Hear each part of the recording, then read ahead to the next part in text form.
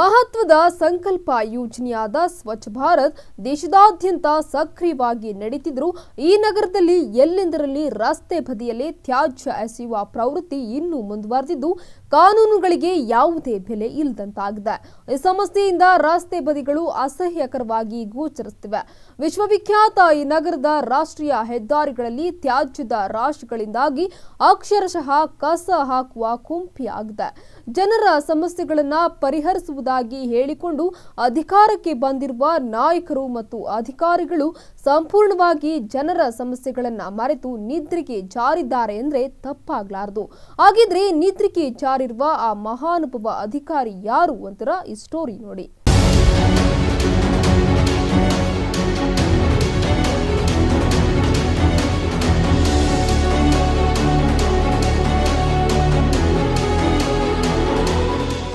ಹೌದು. ಇಂತಹ ಹೀನಾಯ ಸ್ಥಿತಿ ನಿರ್ಮಾಣವಾಗಿರೋದು ಹಾಸನದಿಂದ ಬೇಲೂರು ನಗರವನ್ನು ಹಾದು ಹೋಗಿರುವ ಹೊಸನಗರದ ಅಕ್ಕಪಕ್ಕದಲ್ಲಿ ಕಸ ಹಾಗೂ ಪ್ಲಾಸ್ಟಿಕ್ ತ್ಯಾಜ್ಯಗಳನ್ನು ಎಲ್ಲೆಂದರಲ್ಲಿ ಸುರಿಯಲಾಗಿದೆ? ಹೀಗೆ ಹಲವು ತಿಂಗಳಿನಿಂದ ಕಸದ ರಾಶಿ ಬೀಳ್ತಾ ಇದ್ದು, ಈ ಭಾಗದಲ್ಲಿ ಸಂಚರಿಸುವವರಿಗೆ ಅನೈರ್ಮಲ್ಯದ ದರ್ಶನವಾಗ್ತಾ ಇದೆ. ಈ ಹೆದ್ದಾರಿಯು ವಿಶ್ವವಿಖ್ಯಾತ ಬೇಲೂರಿಗೆ ಸಂಪರ್ಕ ಕಲ್ಪಿಸುತ್ತೆ. ಚಿಕ್ಕಮಗಳೂರು ಧರ್ಮಸ್ಥಳ ಪ್ರವಾಸ ಹೋಗುವವರು ಇದೇ ದಾರಿಯಲ್ಲಿ ಹೋಗಬೇಕು. ಪ್ರತಿನಿತ್ಯ ಸಾವಿರಾರು ಸಂಖ್ಯೆಯಲ್ಲಿ ಪ್ರವಾಸಿಗರು ಈ ಮಾರ್ಗದಲ್ಲಿ ಸಂಚರಿಸ್ತಾರೆ. ಅವರಿಗೆ ಈ ಕಸದ ರಾಶಿ ಕಣ್ಣಿಗೆ ಬೀಳ್ತಾ ಜೊತೆಗೆ ದುರ್ನಾತ ಕೂಡ ಬೀರುತ್ತಿದೆ.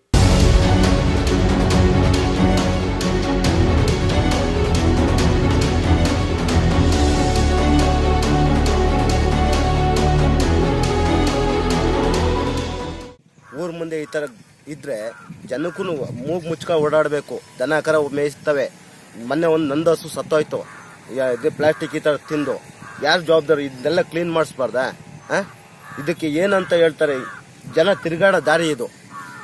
ಇಲ್ಲಿ ತಂದು ಸುರಿತಾರಲ್ಲ ಅವ್ರಿಗೇನು ಇದಿಲ್ವ? ಜ್ಞಾನ ಇಲ್ವಾ? ಒಳ್ಳೇದಲ್ವ ಒಳ್ಳೇದ ಇದು? ಊರ್ ಮುಂದೆ ಹಿಂಗಿದೆಯಲ್ಲ. ಕ್ಲೀನ್ ಮಾಡೋಕೆ ಯಾರು ಬಂದಿಲ್ಲ ಯಾರು ಬಂದಿದ್ದಾರೆ ನೋಡಿ? ಎಲ್ಲ ತಂದು ಇಲ್ಲಿ ಇಲ್ಲಿ ಎಲ್ಲ ಸುರಿದೋಗಿರೋದ? ಯಾರು ಬಂದಿದ್ದಾರೆ?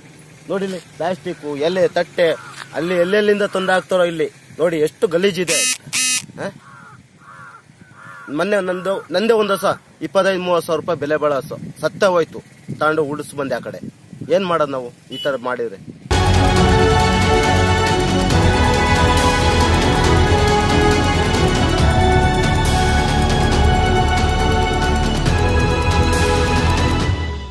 ಕುಮಾರಸ್ವಾಮಿ ಬಡಾವಣೆಯ ಪ್ರದೇಶದಿಂದ ಹಿಡಿದು ರಸ್ತೆ ಬೀದಿಯ ಈ ಕೆಲಗಳಲ್ಲಿ ಕಸ ಮಧ್ಯದ ಖಾಲಿ ಬಾಟಲಿಗಳು, ಮನೆಯ ಅವಶೇಷಗಳು, ಪ್ಲಾಸ್ಟಿಕ್ ಹಾಗೂ ವಿವಿಧ ತ್ಯಾಜ್ಯಗಳು ಅಲ್ಲಲ್ಲಿ ರಾಶಿ ರಾಶಿಯಾಗಿ ಬಿದ್ದಿವೆ.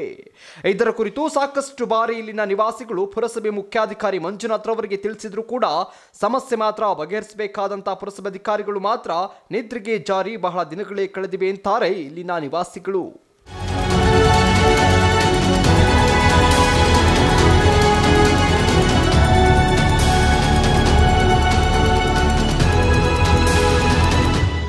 ಬೇಲೂರು ಪುರಸಭಾ ವ್ಯಾಪ್ತಿಯ ಒಂದನೇ ವಾರ್ಡಿನ ಹೊಸನಗರ ಬಡಾವಣೆಯಲ್ಲಿ ನೂರಾರು ಜನರು ಜನರು ದಿನನಿತ್ಯ ಓಡಾಡುವಂತ ಒಂದು ಜಾಗ, ರಸ್ತೆ ಇದು.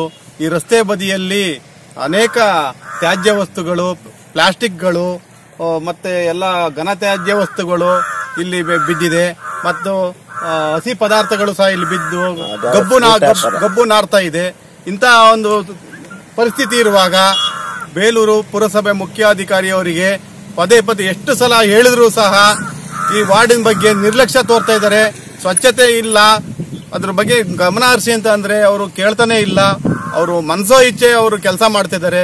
ದಯಮಾಡಿ ಮುಖ್ಯಾಧಿಕಾರಿ ತಕ್ಷಣ ಈ ಕಸವನ್ನ ಇಲ್ಲಿಂದ ಎತ್ತಂಗಡಿ ಮಾಡದೇ ಇದ್ರೆ ನಗರದ ಎಲ್ಲಾ ನಾಗರಿಕರು ಪುರಸಭೆ ಮುಂದೆ ಹೋಗಿ ಉಗ್ರವಾದ ಪ್ರತಿಭಟನೆ ನಂಬಿಕೆಬೇಕಾಗುತ್ತೆ ಅಂತ ಈ ಸಂದರ್ಭದಲ್ಲಿ ತಿಳಿಸ್ತೀನಿ.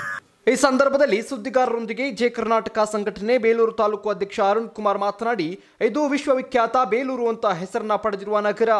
ಇಲ್ಲಿರುವ ಪ್ರವಾಸಿ ತಾಣವನ್ನ ನೋಡಲು ರಾಜ್ಯ ಮತ್ತು ಅಂತಾರಾಷ್ಟ್ರೀಯ ಮಟ್ಟದಿಂದ ಪ್ರವಾಸಿಗರು ಬರ್ತಾರೆ.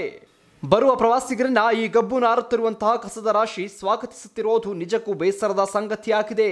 ಸ್ವಚ್ಛತೆಯಲ್ಲಿ ಮೇಲ್ದರ್ಜೆಗೆ ಏರಿದ ನಗರವನ್ನ ಈಗಿರುವ ಪುರಸಭೆ ಮುಖ್ಯಾಧಿಕಾರಿಗಳ ನಿರ್ಲಕ್ಷ್ಯದಿಂದ ಗಬ್ಬು ನಾರುವ ಈ ಕಸದ ರಾಶಿಯ ನಡುವೆ ಶಾಲಾ ವಿದ್ಯಾರ್ಥಿಗಳು ಹಾಗೂ ನಿವಾಸಿಗಳು ಮೂಗು ಮುಚ್ಚಿಕೊಂಡು ತಿರುಗಾಡುವಂತಹ ಪರಿಸ್ಥಿತಿ ನಿರ್ಮಾಣವಾಗಿದೆ.